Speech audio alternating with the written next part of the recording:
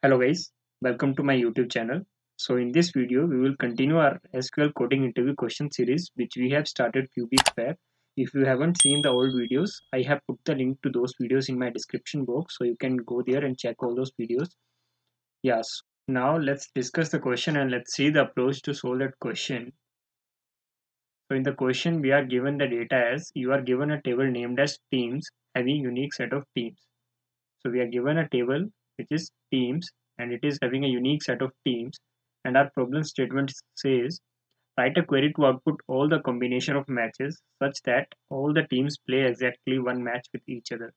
So we have to output all the combination of matches such that each team plays exactly only one match with each other that is like Delhi Capitals versus Chennai Super Kings. So this should not repeat once again. So it should have only one entry in our output table. So you can see the output. So our output should look like this. So CSK versus Delhi Capitals, Chennai Super King versus Mumbai Indians. Like this, our entry should be shown in the output. So now let's see the approach to solve this question. So the simplest approach which we can think of solving this question is we will do the self join on the teams table on either the team code column or the team name column. But the problem with that approach is that in that case we will get the duplicate entries. For example, let us consider we have only two teams, Delhi Capital and Chennai Super Kings. So when we do the self join on the teams table, we will get the entry as Delhi Capital versus Chennai Super Kings and we will also get Chennai Super Kings versus Delhi Capital. But as per the criteria given in the question, there should be only one match between the two teams so this does not meet our criteria so to solve this question we are using the window function here so we are using the row num function here now um, in step one we are adding a column row num to the end of the table. So now in the step two we are performing non-equi join so till like most of the time what we used to do we used to do the equi join so what is that? In the equi join the joining condition will be based on the equality operator. But in the non-equi join our condition will be based on the non-equality operator like less than equal to less than or equal to not equal to like that so here what we are going to do we will take the table which we have uh, got, in the step one. And after that we will perform self join on that on the row num column. So you can see how we have done that. And after that we will get the output which we want. So now we will see the SQL query to solve this problem. So there are many ways to write the SQL queries. Once you have got the concept there are many ways to write that so here I'm doing I'm going to do it in three ways. And uh, if you have already got the concept you can write it in many ways. So first of all let's let me show you the table which is given to us the given data. So this is the data which is provided to us.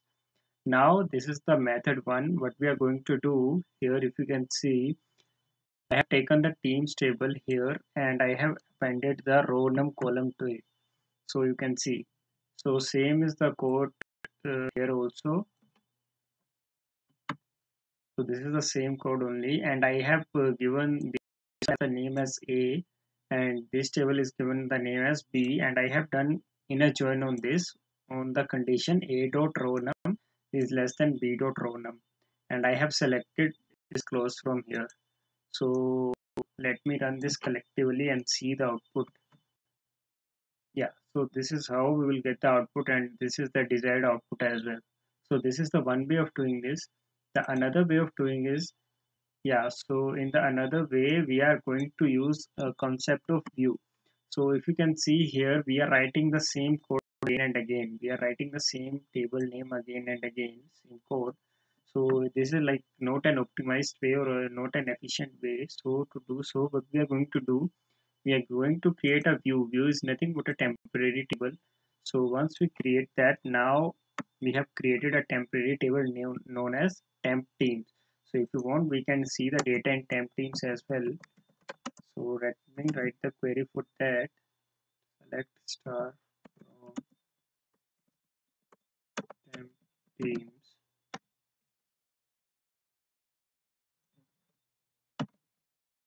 yeah so you can see this is the data in the temp teams. We have just created the temporary view here temporary table which is called as view only.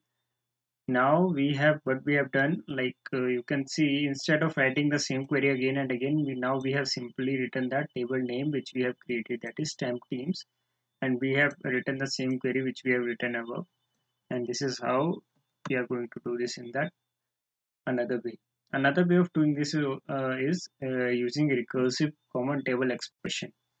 So if you have any idea about that then you you will get this approach as well. If you don't have any idea you can uh, let me know in the comment section. I will uh, make sure to create a video on that as well. So this is the another way of doing that. Here we are creating a temp team table. You can see we are creating a temporary table only temp team and here we are using that table. So this is how we are going to do do it using the recursive common table expression. Okay so yeah we are getting the error here because we have to run the complete code when we are doing it using the common recursive common table expression. Yeah so now you can see we are getting the output here. So that's it about this video guys if you have any doubts then do let me know in the comment section. I will try to sort it out for you. And also if you have liked the video then please, please press the like button. And also i'm going to upload many videos in this series going on. So you can do press the subscribe button as well so that you will never miss any video from this channel. And uh, this is very helpful for any product based or service based company wherever there is a SQL interview round. Yeah. So thanks guys. Thanks for watching